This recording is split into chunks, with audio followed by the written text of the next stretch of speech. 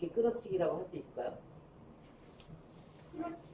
거의 끌어치기인데요. 왜냐하면 그쵸? 너무 부담은 밑에 이거 내려가 부드럽게 치면 반드시 실패거든요. 반드시 찍힌다고요? 반드시 실패. 실패라고요? 네. 부드럽게 치면 자 보세요. 아까 2분의 1 두께 제가 보여드렸잖아요. 네. 이거는 2분의 1로 치면 아까랑 위치가 똑같죠? 2분의 1로 치면 1로 가는 거예요. 네. 그렇죠? 2분의 1보다 두껍게 치면 1로 가는 거예요. 저거 맞는 거죠. 안 맞죠? 세게 쳐야지. 근데 세게 세게 치거나 당점을 내려서 치지 않는 이상 두껍게 친다고 해서 맞는 게 아니란 말이에요. 네. 네. 이렇게 되잖아요. 2분의 1로 맞은 놈처럼 가잖아요, 지금.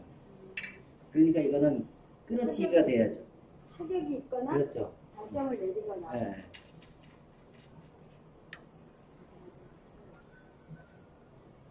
이거는 설명 없이 그냥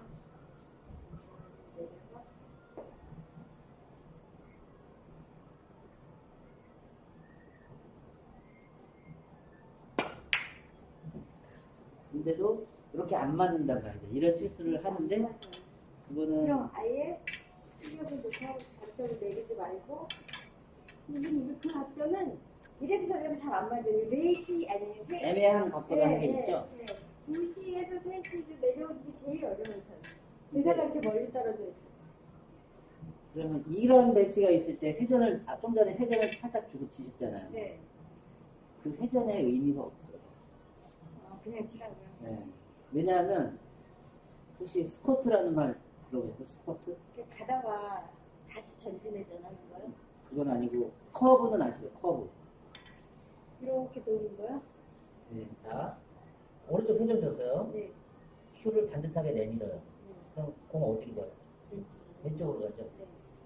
이게 스쿼트인 거예요. 회전을 좀 반대 방향으로 공이 갈 수밖에 없죠. 위에서 보면 아직 네. 위에서 보면 이렇게 쳤는데 얘가 일로 갈 리가 없죠. 이렇게 쳤다면 일로 가겠지만 네. 이렇게 쳤다면 흰공은 일로 가야 되는 게 맞잖아요. 이 지적으로. 저는 막 습관적으로 공 있는 쪽에 회전을 막 줘야겠다 이런 게 필요할 때가 있어요. 주로 히- 회전이 필요할 때가 많기는 한데 이 상황은 회전이 별로 의미가 없어요. 왜냐면 뭐 쿠션을 이용해서 맞을 게 아니잖아요. 네. 직접 맞을 거기 때문에 네. 회전 근데 회전을 주면 두껍게 맞을 확률이 높아지죠. 그렇죠. 왜냐면 공이 내가 원하는 것보다 왼쪽으로 갈 거니까.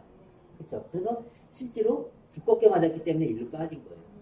그럼 회전 안 주면 맞아요? 회전 안 주고 치면 아마 맞지 않을까 싶은데. 네. 똑같은 방식으로 친다면 회전 안 주고 치는 게 좀 더 두께 실수할 확률이 적죠.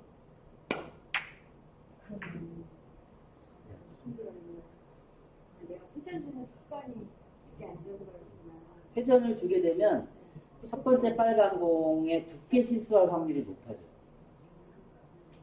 두께 실수할 확률. 두꺼워질 확률이 생긴다는 거예요. 음, 보통은 그렇고 또 어떨 때는 얇게 맞을 확률도 있죠. 회전을 줌으로써. 네.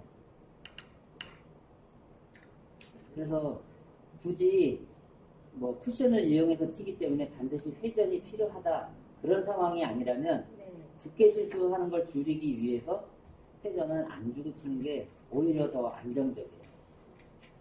그리고 회전이 필요하다. 네. 아무래도 필요하다. 어떨 때 회전이 필요해요? 회전이 필요할 때라는 거는 쿠션 쿠션 맞고 이동해야 될 때는 회전이 있는 게 좀 더 스무스하게 공이 돌아가니까 그렇게 쳐야 되겠죠. 그리고 타격으로 치면 만약에 타격으로 치면 이거는 약간 위에를 치는 거예요. 아니죠. 그래도 있겠죠? 중심, 중심 또는 중심보다 미세하게 아래를 쳐야죠. 두께는 저는 이럴 때는 그냥 반두께 내 느낌에 반두께 이거 두껍게 맞은 거예요. 이렇게 맞은 거예요. 일로 가야죠. 2분의 1로 맞았다면 일로 가고 일로 가고 이쪽으로 왔을 텐데 이쪽으로 왔기 때문에 다 그렇죠 뭐. 어떻게 알아요?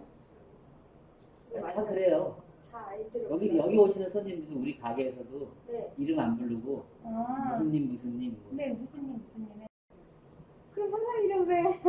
아니 그냥 자기 마음대로 아, 우리 손님. 중에는 사이다님이라고도 있고 사람 아닌 이름도 있어. 아, 많죠 많죠. 근데 내 마음대로 있고. 내 마음대로니까.